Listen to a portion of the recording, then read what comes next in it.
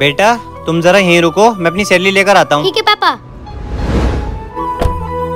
आ गया बेटा। पापा ले आए सैलरी हाँ बेटा ले आया सैलरी आपको कितनी सैलरी मिलती है? बेटा पूरे पचास हज़ार रूपए। अरे बेटा गाड़ी को क्या हुआ? हेलो? हेलो? अरे ये बापू मॉल पर मेरी गाड़ी खराब हो गई। जरा आकर देख लेना। जी साहब बस मैं अभी आया पाँच मिनट में। जी साहब क्या हुआ? भाई कितना टाइम लगेगा? हाँ भैया बस हो गई। आप जाकर गाड़ी स्टार्ट करो। शुक्रिया भाई कितने पैसे हुए आपके? भैया पाँच हज़ार रूपए हो गए। क्या?